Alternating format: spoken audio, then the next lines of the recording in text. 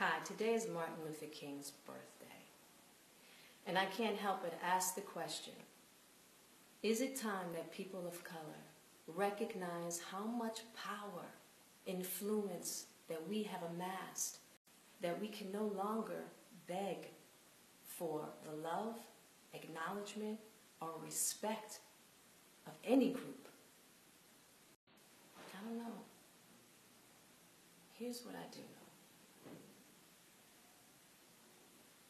Begging for acknowledgement or even asking diminishes dignity. Hi, today is Martin Luther King's birthday.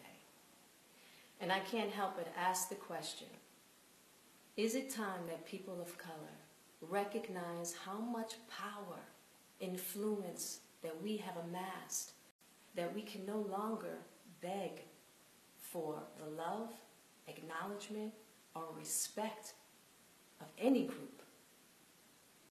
I don't know. Here's what I do know.